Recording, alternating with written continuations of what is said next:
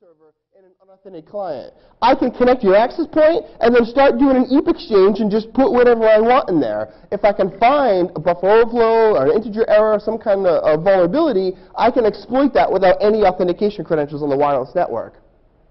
So uh, I noticed this the other day. We, uh, we had written the software for free radios. We'll talk about that a little bit. And they came out with a new version, so I was checking it out the other day. This came out uh, you know, a couple days ago now. And they had some cool things here. You know, okay, you know, added notes, logging. Uh, I like this one right here. Added the ability to send attributes via raw attribute equals and some random hex value. This is available only in debug builds. It can be used to create invalid packets. Use with care. Great!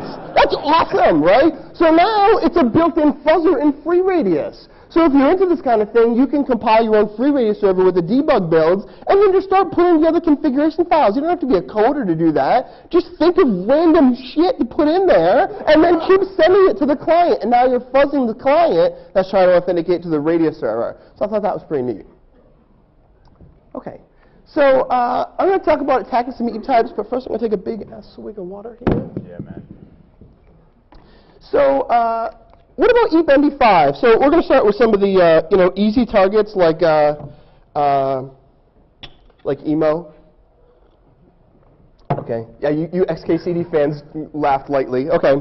So uh, EAP-MD5 is an early basic authentication mechanism. It's not RFC 4017 compliant, so it doesn't do all the things that we know to be a secure authentication mechanism. There's no support for encryption key delivery, so you really don't see EAP-MD5 used too much. Uh, I'm told that it's used very popularly by large wireless ISPs in Korea. Haven't been out there to check it out yet. Uh, and then recently I've been to a bunch of customers who would tell me they use EAP-MD5 on their wired networks as well, which is kind of interesting. Uh, there's no native supplicant support in Windows, uh, but you can get an alternative uh, supplicant in OS X or uh, Odyssey. So OS X natively supports EAP-MD5. Uh, Odyssey supports EAP-MD5 as well.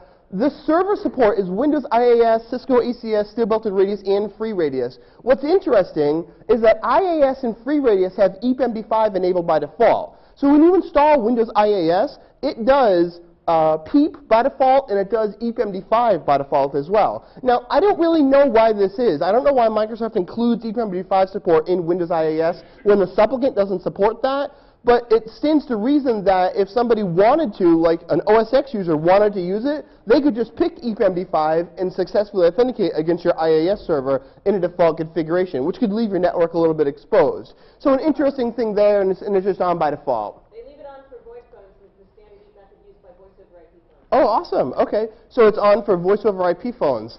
Sweet. Okay. If you, uh, if you have some packet captures, I'd love to see that action. Okay. Uh, by the way, any packet captures, you know, uh, you know, I'm, I'm all over that. Just don't um, hex or my Wireshark implementation. You know what really sucks when you're fuzzing something and then Wireshark crashes? That's when you know that you found a problem, right? That's not cool, man. No, I don't like that. I, I, you know, I want Wireshark not to crash, really. That's what I'm looking for. Uh, so what does the EAP-MD5 exchange look like? We got our 802.11 authentication and association stuff, and uh, I'm still not authenticated to the network. I'm just authenticated to the AP. And now I'm going to do some identity request and response stuff. Basically, I'm brokering back and forth between the radio server. The Radius server generates a 16 byte MD5 challenge and sends it to me. And then I use, uh, as my client, I calculate my response ID, my password, and my challenge, concatenate it together, and I MD5 that, and that's my response. So it's just a simple MD5 challenge response mechanism for EAP-MD5. This all goes in plain text.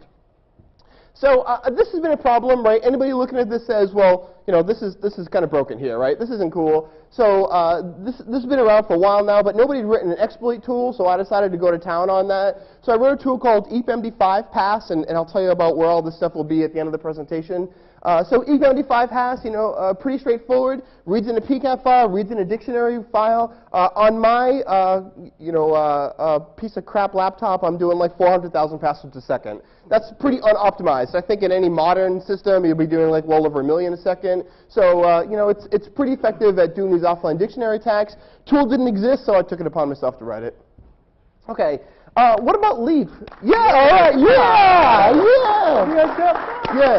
And it's GPL. Woo! Yeah, free beer. Woo! All right. Uh, so uh, what about Leap, right? Uh, Leap uh, has been broken for a couple years now. I think a lot of people realize that. Uh, I see less and less Leap, but um, quite honestly, I don't get out of the house that much, right? Uh, so uh, people tell me there's a lot of Leap still. I don't really understand that.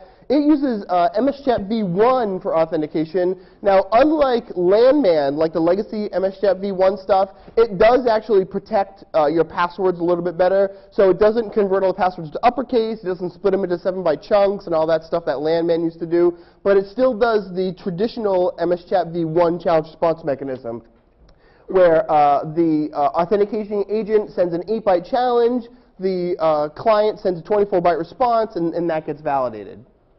Okay? So again, this is only available on Cisco APs. So a couple years ago, I wrote a sleep to do this uh, attack, and, and uh, it also works against PPTP networks as well. So this is old news. Uh, the new thing is that uh, in a sleep, I added support to specify a challenge and a response right on the command line. Uh, you know, I, I, like writing C. I don't like writing packet parsers uh, personally. So what I did was JBL actually called me up. Yeah, JBL, yeah that was all right, crazy. All right, yeah, all right.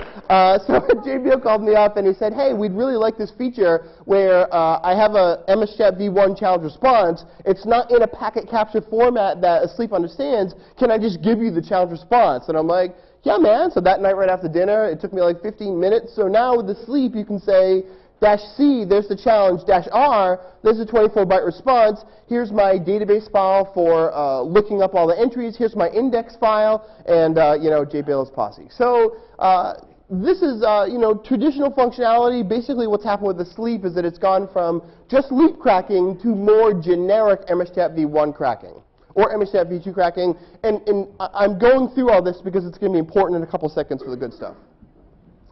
All right, uh, let's talk about eat fast for a minute. So um, when I uh, when I was doing the whole vulnerability thing, I'm going to go like step over here because this is better for me. Okay. Uh, so uh, with Eat Fast, when I was talking to Cisco about disclosing the whole Leap vulnerability thing, they said, uh, well, we need like uh, six months to fix this. All right, six months went by. We need another three months. All right, three months went by. We need another month. Okay, the next day they came out with Eat Fast which is the replacement to do Leap. And basically, Cisco's pitch is it's as secure as PEEP, but as simple as Leap. Yeah, all right, man, I'm all over that, okay? So, uh, yes, thanks, Brad. Uh, so it uses uh, a pre-shared authentication credential. I don't, did I fix that? That might not be right. No, no, no. No, that's not right. what is it? Oh, protected, Protect, yeah, protected authentication yeah. credential. Yeah, something. All right. It's basically a file-based authentication mechanism. How do you get that pack, right? H how do you get that pack? You just, you know, the, the administrator emails it to you, right, and you get it. No, no, no. They put it on a thumb drive and they walk it to your machine. No, no, no, that's not going to work as well. So what do we do with that? Well, they've got an anonymous EAP pack provisioning mechanism where basically you first log on to the EAP-Fast access point and you say, hey, I don't have a pack. And it uses anonymous Diffie-Hellman negotiation, which translates to no negotiation. And then it says, hey, here's your pack. Okay? You do EAP MSChat v2 authentication with whoever the access point says he is, and then they give you a pack. Okay? And then you disconnect and you use that pack and you authenticate to the network. Okay? So that's something called EAP Fast Phase Zero provisioning, and it's how they actually deploy these packs. Cisco's recommendation is to use this thing, you should initially set up all your clients with EAP Fast Phase Zero turned on, and then once all your clients are provisioned, you turn that off. Okay, that, that works. And then what happens when you add one more client? Yeah, yeah. You turn it back on, and then you never shut it off again, which is seen consistently in every deployment I've ever seen. Okay, so uh, this is kind of a not cool thing.